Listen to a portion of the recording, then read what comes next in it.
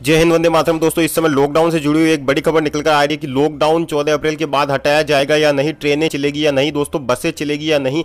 अगर आप जो है कहीं फंसे हुए हैं, कहीं दूसरे शहर में अपने घर से दूर हैं तो आप जो है कब तक आपको इंतज़ार करने पड़ेगा और मोदी सरकार लॉकडाउन आगे बढ़ा सकती है या नहीं? ये भी दोस्तों, इस समय की बड़ी खबर है। साथ ही आपको यह भी बता दें कि लॉकडाउन की हर बड़ी खबर के लिए लाल बटन को दबाकर हमारे चैनल को सब्सक्राइब करना ना भूलें। साथ ही दोस्तों, आज हम इस वीडियो में आपको बताने वाले हैं लॉकडाउन से जुड़ी कुछ बड़ी खबरें कि कब जो है लॉकडाउन हटाया जा सकता है। चलिए दोस्तों, चलते हैं आज की तमाम बड़ी खबरों की तरफ़। रेलवे की तैयारियाँ तेज 15 अप्रैल से ट्रेनें चलाने का शेड्यूल रेलवे बोर्ड को भेजा। जी हाँ दोस्तों, इस समय की सबसे बड़ी खबर आ रही है, अगर 15 अप्रैल से ट्रेनें चलती हैं तो गोरखपुर से पहले दिन गोरखधाम और एलटीटी एक्सप्रेस समेत चार ट्रेनें रवाना होगी। दूसरे दिन छह और तीसरे दिन आठ ट्रेनें चलाई जाएगी। एक सप्ताह के अंदर गोरखपुर से चलने वाली सभी ट्रेनें पहले की तरह चलने लगेगी। पूर्वोत्तर रेलवे के गोरखपुर परिचालन विभाग ने रेलवे बोर्ड को अपने शुरुआती एक सप्ताह का टाइम बनाकर भेज दिया है। ऐसे में अगर बोर्ड 15 अप्रैल से ट्रेनों को चलाने की मंजूरी देता है तो गोरखपुर जंक्शन से सबसे पहले हिसार तक जाने वाली गोरखपुर एलटीटी तक जाने वाली एलटीटी एक्सप्रेस, प्रयागराज तक जाने वाली चोरी चोरा और लखनऊ तक जाने वाली गोमती एक्सप्रेस चलाई जाएगी। इसके बाद 16 अप्रैल को छह ट्रेनें, फिर 17 को आठ ट्रेनें चलाई जाएगी। एक सप्ताह के अंदर सभी ट्रेनें शुरू कर दी जाएगी, लेकिन इंतज़ार अभी केंद्र सरकार की हरी झंडी का है। जैसे ही केंद्र सरकार हरी झंडी देगी रेलवे का तो रेलवे कुछ अपने विशेष शर्तों के साथ और नियम के साथ जो है ट्रेनें चलाने का काम शुरू कर देगा। चलिए दोस्तों, चलते हैं अगली बड़ी खबर की तरफ़। लॉकडाउन चाहे खुले या नहीं, पंद्रह मई तक बंद रह सकती है स्कूल, कॉलेज समेत यह जगह। जहाँ दोस्तों इस समय की सबसे बड़ी खबर आ रही है। आपको बता दें कोविड उन्नीस पर मंत्रियों के समूह ने पंद्रह मई तक सभी शैक्षणिक संस्थाओं को बंद करने की सिफारिश की है। आधिकारिक सूत्रों ने बताया कि सरकार का सोचना है कि इससे स्कूलों और कॉलेज एक तरह से गर्मियों की छुट्टियों को मिलाकर जून के अंत तक बंद रहेंगे। गर्मियों की छुट्टी आमतौर पर मई के मध्य से शुरू हो जाती है। इसके अलावा लोगों की सहभागिता वाली धार्मिक गतिविधियों पर भी 15 मई तक रोक लगाने की सिफारिश की गई है। सिफारिश में ध्यान देने वाली बात यह है कि 14 अप्रैल के बाद लॉकडाउन चाहे रहे या फिर खत्म हो जाए, शैक्षणिक संस्थान व धार्मिक गतिविधियों वाली जगह बंद रहेगी। रक्षा मंत्री राजनाथ सिंह की अध्यक्षता वाली जीओएम ने यह तय किया है कि धार्मिक केंद्रों, शॉपिंग मॉल, शैक्षणिक संस्थानों को 14 अप्रैल के बाद कम से कम चार सप्ताह तक सामान्य गतिविधि शुरू करने की अनुमति नहीं दी जा सकती है। 14 अप्रैल वर्तमान लॉकडाउन की अंतिम तारीख। हालाँकि कुछ ऐसे संकेत भी मिल रहे हैं कि पूरे देश में जो है लॉकडाउन और भी आगे बढ़ सकता है। हालाँकि इसके लिए अभी केंद्र सरकार की तरफ़ से ऐलान होना बाकी है। साथ ही दोस्तों, आपको यह भी बता दें कि इस बैठक में गृह मंत्री अमित शाह, वित्त मंत्री निर्मला सीतारमण आदि शामिल हुए थे। दोस्तों, चलते हैं अगली बड़ी खबर की ओर। किसानों के लिए खुशखबरी 15 अप्रैल से गेहूँ की खरीद शुरू कर देगी राज्य सरकारें। जी दोस्तों, आपको बता दें, केंद्र सरकार ने राज्य सरकारों को आदेश दिया है कि वह 15 अप्रैल से गेहूँ की खरीद शुरू कर दे। अभी देश भर में 1600 मंडियाँ चल रही है। राज्य सरकारों से कहा गया है कि वह तीन महीने के लिए व्यापारियों और किसानों को मंडी एक्ट में छूट दे, ताकि वह मंडी से बाहर भी अपना उत्पाद बेच सके। साथ ही दोस्तों, आपको यह भी बता दें कि लॉकडाउन की वजह से किसानों को दिक्कत ना हो और उनकी फ़सल की खरीद हो सके। इसके लिए राज्य सरकारें पंद्रह अप्रैल से गेहूँ की खरीद जो है शुरू कर देगी। साथ ही केंद्र सरकार ने दालें और ऑयल सीड की खरीद के लिए भी राज्य सरकारों को निर्देश दिए हैं कि कृषि मंत्री नरेंद्र सिंह तोमर ने कहा है कि सरकार पूरी कोशिश में है कि लॉकडाउन की वजह से लोगों को दिक्कत कम हो उन्होंने कहा कि प्याज की कीमत ना बढ़े, इस पर भी हमारी नज़र है हम कोशिश कर रहे हैं कि किसानों को प्याज जल्दी जल्दी मंडी में पहुँच सके। दोस्तों, चलते हैं अगली बड़ी खबर की ओर। ओडिशा के बाद पंजाब ने बढ़ाया लॉकडाउन कोरोना के नए मामलों ने बढ़ाई कैप्टन की चिंता। जी दोस्तों, इस समय की सबसे बड़ी खबर आ रही है ओडिशा के बाद अब पंजाब सरकार ने लॉकडाउन की अवधि बढ़ाने का फैसला किया है। लॉकडाउन की 21 दिनों की अवधि और बढ़ा दी गई है। मुख्यमंत्री कैप्टन अमरिंदर सिंह की अध्यक्षता में कैप्टन कैबिनेट की हुई बैठक में यह फैसला सर्वसम्मति से लिया गया। समाचार एजेंसी पीटीआई के मुताबिक पंजाब के स्पेशल मुख्य सचिव के सिद्धू ने बताया कि पंजाब कैबिनेट ने राज्य में कर्फ्यू तीस अप्रैल तक बढ़ा दी है। पंजाब में कोविड उन्नीस के नए केस लगातार सामने आ रहे हैं। मुख्यमंत्री अमरिंदर ने भी आज राज्य की स्थिति के बारे में जानकारी दी। पंजाब में कोरोना वायरस से संक्रमण की संख्या बढ़कर एक सौ बत्तीस हो गई है। इस महामारी से ग्यारह लोगों की मौत भी हो चुकी है।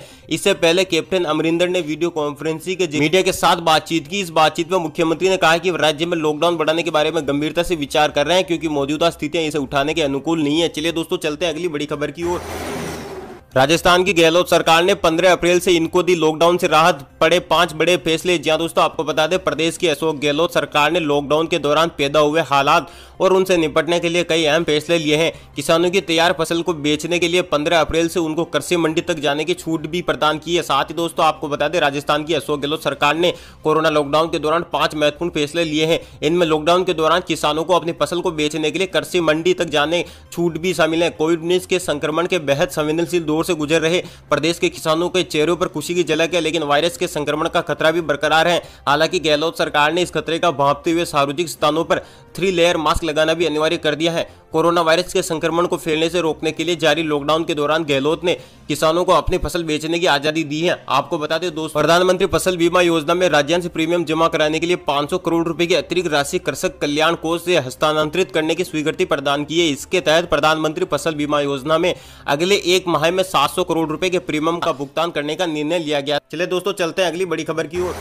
कोरोना वायरस अमेरिका में 24 घंटे में एक हज़ार सात सौ तिरासी लोगों की मौत अब तक सोलह हज़ार की गई जान। जा दोस्तों, अमेरिका से बड़ी खबर आ रही है। आपको बताते कोरोना वायरस का कहर अमेरिका पर लगातार जारी है।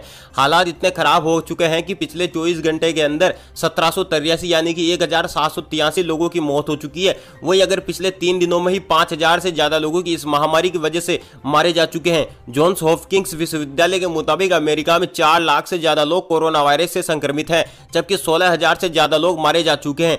इनमें से पच्चीस हज़ार लोगों के ठीक होने के बाद अस्पताल से छुट्टी दे दी गई है। अमेरिका के बाद इटली, स्पेन, ब्रिटेन और फ्रांस में कोरोना का वायरस का सबसे ज़्यादा प्रकोप देखने को मिल रहा है। अमेरिका में सबसे ज़्यादा चार लाख सत्तर हज़ार एक सौ पैंतीस पॉजिटिव मामले हैं। अमेरिका के बाद स्पेन में एक लाख पचपन हज़ार मामले, इटली में एक लाख तैयलीस हज़ार मामले और फ्रांस में एक लाख उन्नीस हज़ार से अधिक मामलों की पुष्टि हो चुकी है।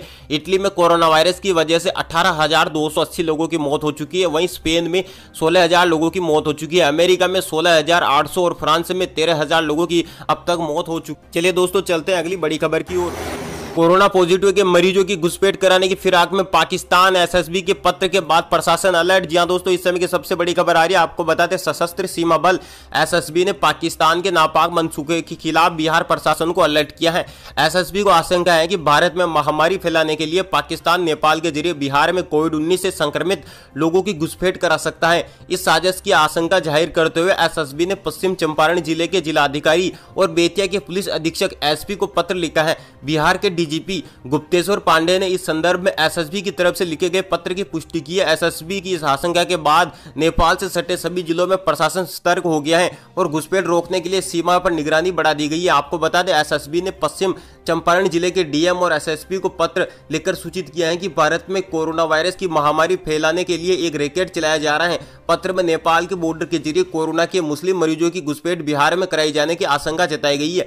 पत्र में कहा गया है कि नेपाल में मौजूद 40 से 50 भारतीय मुस्लिमों की रिपोर्ट कोरोना पॉजिटिव है। इन्हें बिहार के ज़रिए भारत में भेजे जाने की साजिश है। यह भी कहा गया है कि कोविड उन्नीस से संक्रमित करीब दस से पंद्रह पाकिस्तानी नागरिक नेपाल में मौजूद है और वह भारत में दाखिल होने की फिराक में है। इन पाकिस्तानी नागरिकों को भारत में महामारी फैलाने का काम सौंपा एसएसबी के इस पत्र को राज्य प्रशासन ने गंभीरता से लिया है और नेपाल के सीमावर्ती इलाकों में चौकसी बढ़ा दी गई है। आपको बता दें कि एसएसबी ने यह पत्र तीन मार्च को पश्चिमी चंपारण जिलाधिकारी और बेतिया के एसएसपी को लिखा है। चलिए दोस्तों, चलते हैं अगली बड़ी खबर की ओर।